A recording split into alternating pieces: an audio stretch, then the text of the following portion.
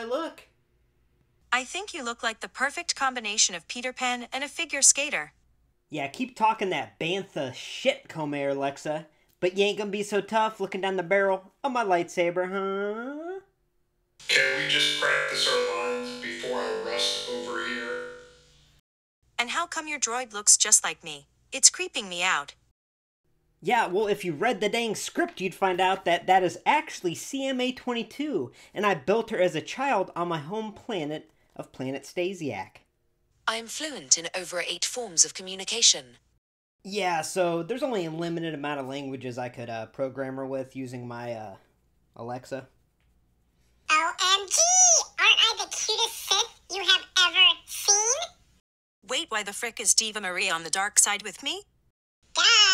Duh! Because the red lightsaber totally goes with my outfit. All red everything, baby. As a bounty hunter, she is going to be my first target to kill.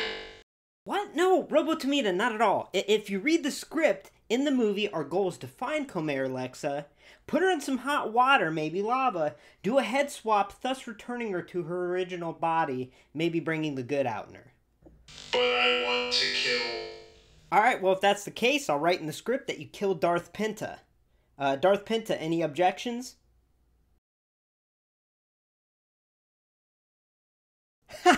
Didn't think so. Yeah, ladies, I'm gonna have to record some voiceovers for him for the movie.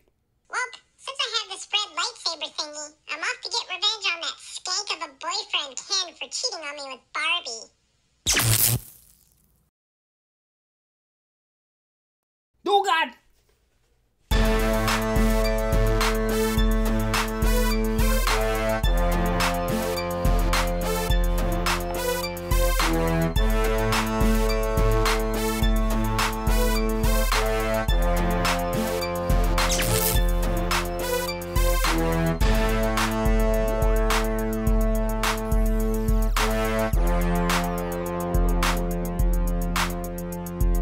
Hey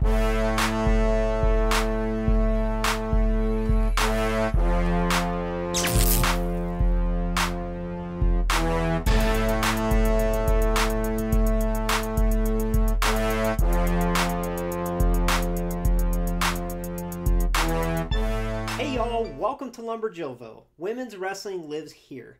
Now today we are doing something completely different compared to what I usually do on the channel, and we are going to review a non-wrestling figure. Now there's a great reason for this.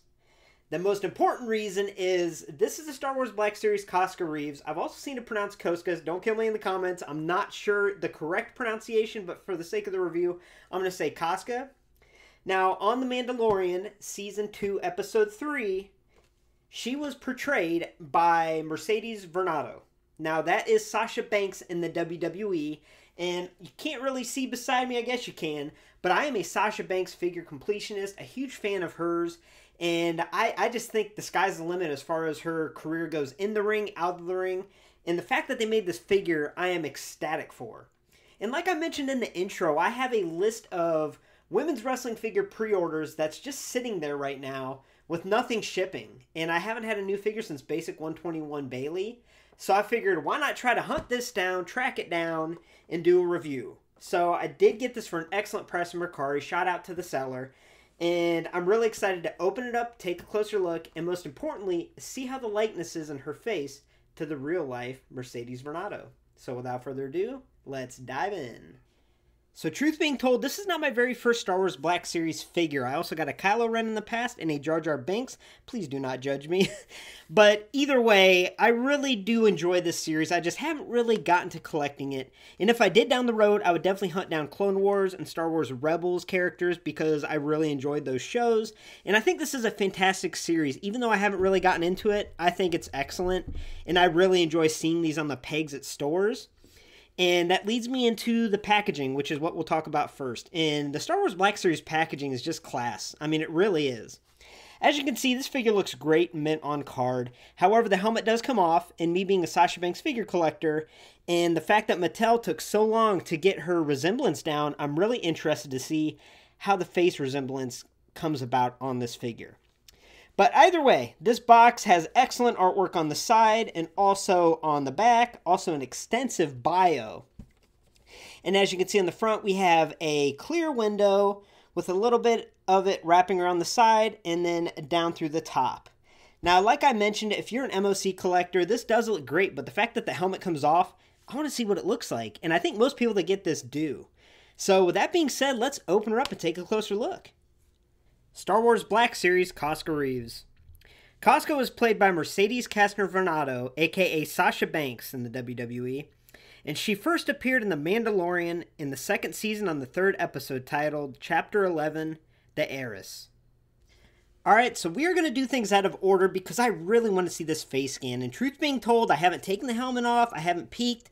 So when I take this off, my first look is also y'all's first look. So I'm really excited to see if they nailed her look. Um, but yeah, without further ado, let's remove this helmet. Okay. It looks okay. It looks pretty good. So right away you can see that the hair detail is outstanding. So she has these braids that go in all different angles, super accurate to how it was on the show. Now, as far as her face goes, I think it leaves a little to be desired. I don't think it's the best scan in the world. I don't know what kind of technology they have for the Black Series figures, but it definitely could be better. It's one of these scans that I'm going to have to sit back and take a look at it and let it sit to see how I feel about it because it's not horrible, to be honest with you. Let's just take a closer look here. So I don't know if it's the eyes or what, but the skin looks a little off. But like I said, not bad. Now, I'm going to put her over here, and to the right here, I'm going to put an image of her Elite Series 83, just so you can kind of compare looks.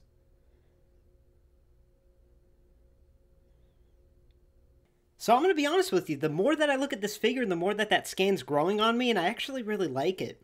But let's move on to her accessories. So to start off, you kind of got to look at it before when we took it off, but this is her helmet. Now what's cool is it has a little battle damage on there, and also this rangefinder can move in all different directions, even in front of her eye, it can go up, and all around. Now, I really do like that blue color, and what I like most about this helmet, as you saw before, is it comes off pretty easily, and it fits on her nice and snug. A lot of times when a helmet's removable, more often than not it looks way big and way out of scale, but this one looks excellent on her or off her. She also comes with this jetpack here, which is a grayish silver color with blue accents, and it plugs right into her back. And she also comes with dual blasters, which fit in her hands nicely. So I'm a big fan of the accessories, and I've said this before with Ultimates or Elites with wrestling figures. It drives me nuts when there's a bunch of extra accessories, but what I like about this figure is everything she comes with, you can put on her all together, all at once, and even if you don't have the helmet on her, she could be holding it. So with that being said, let's move on to her attire. So the attention to detail on her armor or her attire is freaking tremendous. I'm sure this is the case with most Black Series figures, but like I said, I have a pretty small sample size, but I'm blown away. I mean, as you can see, she has that classic blue armor pieces all around, which is very accurate to the show. But what's cool is the addition of battle damage on the front of her chest plate here. Also on her little shoulder plates and her gauntlets. She also has this brown waist belt type thing along with a holster which actually a gun goes right into. So let me put that blaster in there to show you. So that is freaking awesome. Moving down, she has these little, I guess, knee pad type things. And then she has these blue guards on her boots. Now, underneath that armor, she does have a molded frame, which kind of simulates the baggy type clothes that she wore underneath her armor plates. So yeah, I'm I'm blown away by how detailed this armor looks in this attire. Like this looks freaking awesome. Now let's cover articulation because that is also something new to me with this line of figures. Now it's time to cover that articulation though. Now, first things first is her head is on this ball joint, but holy smokes, look at all this movement. I haven't seen movement in head articulation in a woman's figure in a long time. Most of women's wrestling figures are limited by the hair or just the design. But this hair mold, along with the design of the neck, I mean, she can go all over the place. This is freaking great. Now, the arms are on a ball type joint, but what I like about these joints is they're almost on like a ratchet. So it kind of clicks into place to avoid it getting loose, which is great. Now, let's see. Does she have an upper arm swivel? I don't believe so. Now, she does have elbow flexion. It's not double jointed. And with her hand, she can swivel her hand here. And then let's see. Also, on her right hand, which is a little different, she has a little joint where she can kind of go up and go down. So she can radial deviate and ulnar deviate, if you want the professional term there. And then, as far as her torso goes, right up underneath that armor piece, she can swivel a little bit and spin. Her waist, I believe, doesn't turn. And then on her hips, she has all range of motion in that hip. And also, she has a joint in her upper thigh to allow some swivel. Now, her knee is a hinge joint that can go back pretty darn far. And as far as her foot goes, it can go down, can go up, and it can also swivel side to side. So yeah, that was definitely a new course in articulation that I'm not used to, but I'm impressed, and I really like how firm these joints are. And here's one last look the Star Wars Black Series, Koska Reeves.